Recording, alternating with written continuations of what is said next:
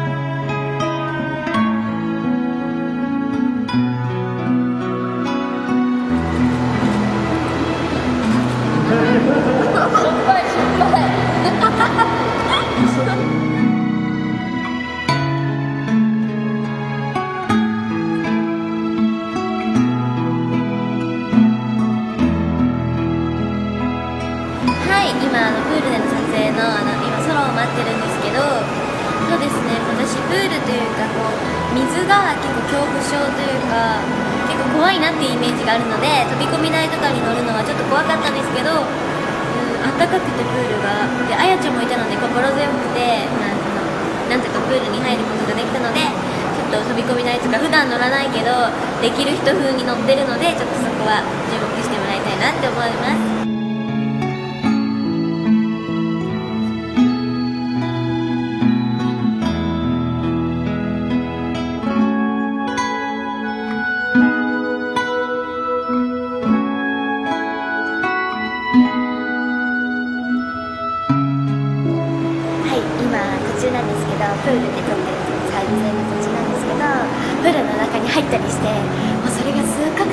楽しくてもっと入りたいなと思うんですけどまだこれからもっとバシャバシャやる感じらしいので噂によると。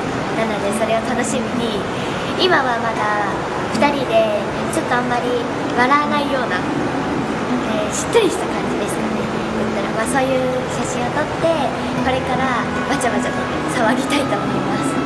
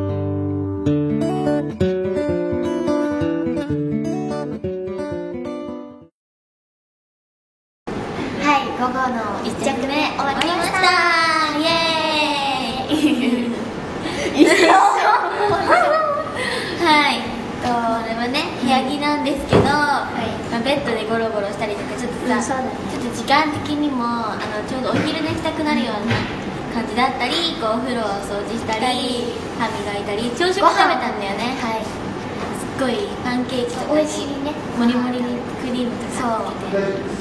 美味しかったしちょっとこういう生活したいなって思っちゃったんね、いつかは2人でね。おいいね。パンケーキをそう作って毎朝はい。